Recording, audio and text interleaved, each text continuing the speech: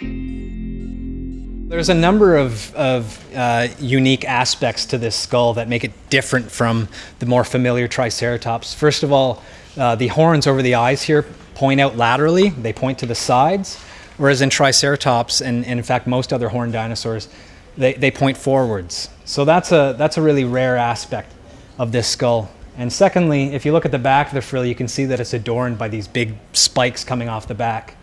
Near the midline, those spikes actually curl forwards, and then as you, as you move to the side, those spikes radiate outwards. So that's something we don't see anywhere else uh, among horned dinosaurs, and that's what lets us know that this is a new species to science.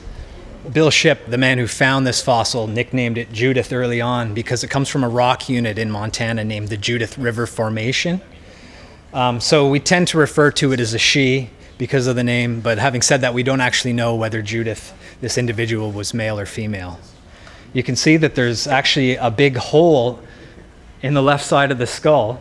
That hole we think might have been uh, gored out by, by uh, another individual of this species. Um, and subsequently, we can see that it became infected as well. Uh, we also have the humerus, or the upper arm bone of, of, of this animal. It's also riddled by arthritis up near the shoulder and down near the elbow. We can see more evidence for bone infection. There's a big, there's a big opening that's opened up near the elbow to drain off that infection.